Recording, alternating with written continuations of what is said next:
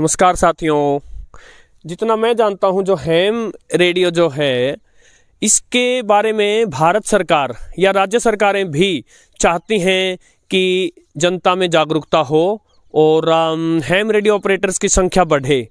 और एक बात और बताई जाती है कि जो हैम रेडियो ऑपरेटर्स हैं या जो हैम रेडियो है ये सर्विस, ये एमरजेंसी में बहुत काम की हो सकती है।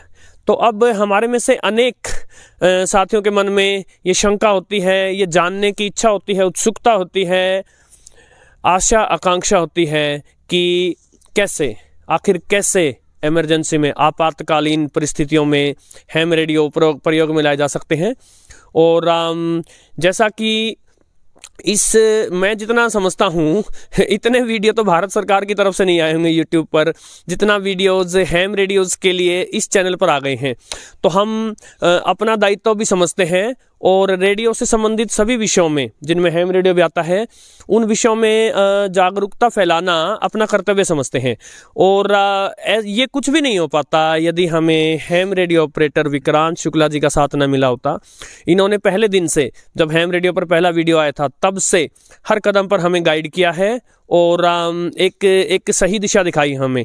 तो हम इनसे ही जानेंगे कि विक्रांत जी, आप हमारे दर्शकों को ये समझा दें कि आपातकालीन परिस्थितियों में एमरजेंसी सिचुएशंस में कैसे प्रयोग होता है ham radio okay, Pravinder ji, आपने मेरे को पूछा कि एमेच्योर रेडियो या हैम रेडियो जिसको हम बोलते हैं, वो आपातकालीन स्थिति में या इमरजेंसी में कैसे काम आता है?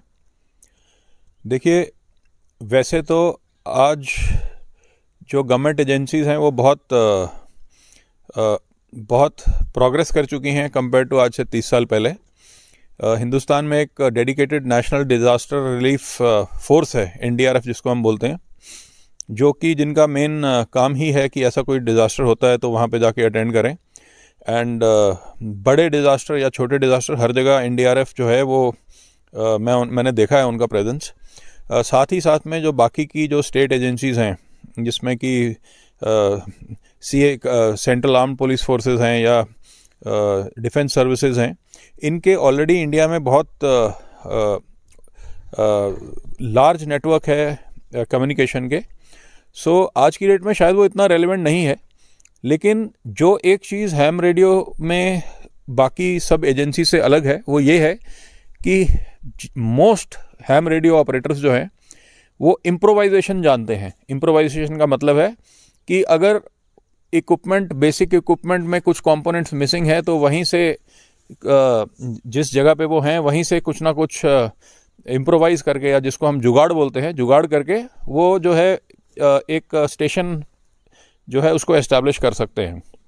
जबकि मजॉरिटी जो गवर्नमेंट एजेंसीज हैं वो उनके पास डेडिकेटेड इक्विपमेंट है, वो चल गई तो चल गई, अगर नहीं चली तो उस, वो इम्प्रोवाइजेशन जो है वो काफ़ी कम दर्जे की होगी compare to amateur radio so अभी अगर आप मेरे को पूछते हैं तो बहुत सारे डिज़ास्टर्स जो हैं, वहाँ पे एमेचर रेडियो ऑपरेटर जो है, वो अपना योगदान देना चाहते हैं, लेकिन शायद आज उसकी इतनी रिक्वायरमेंट नहीं है. लेकिन बहुत बार क्या होता है कि गवर्नमेंट एजेंसीज इन्वॉल्व नहीं हो पाती। कोई ऐसा डिज़ास्टर है जहाँ पे गवर्नमेंट एजेंसीज इन्वॉल्व नहीं है या फिर यू you नो know, किसी वजह से वो उतना रिस्पॉन्ड नहीं कर पाए। लोकल एजेंसीज जो हैं वो उतना अरेंज नहीं कर पाए। तो इस पर्टिकुलर uh, कंडीशन में जो हैम रेडियो ऑपरेटर्स हैं वो काफ़ी हेल्प कर सकते हैं और करीबी है।